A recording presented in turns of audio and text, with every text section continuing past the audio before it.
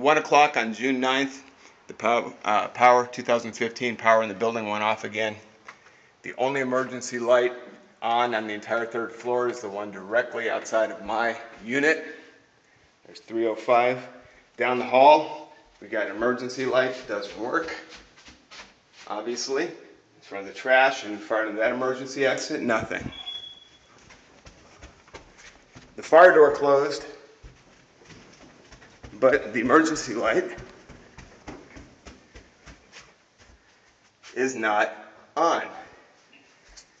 Pushing down through the hallway, you notice that emergency light is not on. This is 309, 301. Here's the uh, exit, emergency exit. Oh, look what just came back on. Well, this emergency light down here has been off, and uh, we've had absolutely no light down in the entire first floor, third floor, sorry. Power just came on, it's about 120.